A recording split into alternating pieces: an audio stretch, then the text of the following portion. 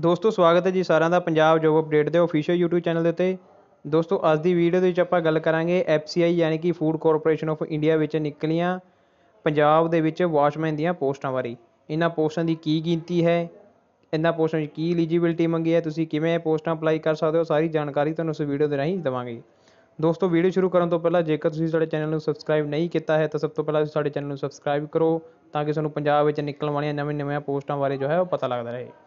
ਦੋਸਤੋ, ਗੱਲ ਕਰੀਏ ਜੇਕਰ ਆਪਾਂ ਐਫਸੀਆਈ ਵਿੱਚ ਨਿਕਲੀਆਂ ਇਹਨਾਂ ਵਾਚਮੈਨ ਦੀਆਂ ਪੋਸਟਾਂ ਬਾਰੇ, ਤਾਂ ਇਹਨਾਂ ਦੀ ਟੋਟਲ ਗਿਣਤੀ ਜੋ ਹੈ ਉਹ 860 ਹੈ, ਜੋ ਕਿ ਇਹਨਾਂ ਨੂੰ ਅਪਲਾਈ ਕਰਨ ਦੀ ਜੋ ਆਪਾਂ ਡੇਟ ਦੀ ਗੱਲ ਕਰੀਏ, ਤਾਂ ਮਿਤੀ 11 10 ਤੋਂ ਜੋ ਨੇ ਪੋਸਟਾਂ ਅਪਲਾਈ ਹੋਣੀਆਂ ਸ਼ੁਰੂ ਹੋ ਚੁੱਕੀਆਂ ਨੇ ਤੇ ਤੁਸੀਂ 10 ਨਵੰਬਰ ਤੱਕ ਇਹਨਾਂ ਪੋਸਟਾਂ ਨੂੰ ਜੋ ਹੈ ਉਹ ਫਿਲ ਕਰ ਸਕਦੇ ਹੋ।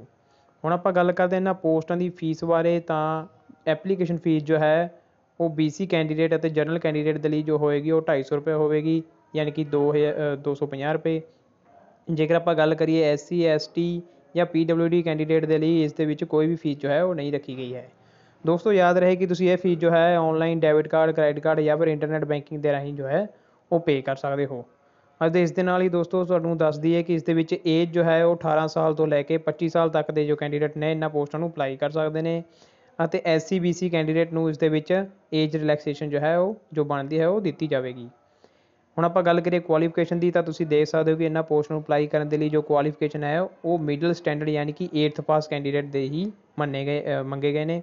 ਤੁਸੀਂ ਜੇਕਰ 8ਵੀਂ ਪਾਸ ਹੋ, ਤਾਂ ਇਹਨਾਂ ਪੋਸਟਾਂ ਨੂੰ ਜੋ ਹੈ, ਉਹ ਤੁਸੀਂ ਅਪਲਾਈ ਕਰ ਸਕਦੇ ਹੋ।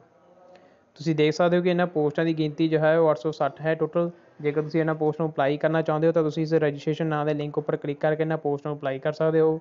ਨੋਟੀਫਿਕੇਸ਼ਨ ਜੇਕਰ ਤੁਸੀਂ ਦੇਖਣਾ ਚਾਹੁੰਦੇ ਹੋ, ਤਾਂ ਇਸ ਨੋਟੀਫਿਕੇਸ਼ਨ ਨਾਂ ਦੇ ਲਿੰਕ ਉੱਪਰ ਕਲਿੱਕ ਕਰਕੇ ਤੁਸੀਂ ਨੋਟੀਫਿਕੇਸ਼ਨ ਵੀ ਜੋ ਹੈ ਉਹ ਸਾਰਾ ਰੀਡ ਕਰ ਸਕਦੇ ਹੋ, ਜਿਸ ਦੇ ਵਿੱਚ ਤੁਹਾਨੂੰ ਸਾਰੀ ਜਾਣਕਾਰੀ ਜੋ ਹੈ ਉਹ ਮਿਲ ਜਾਵੇਗੀ।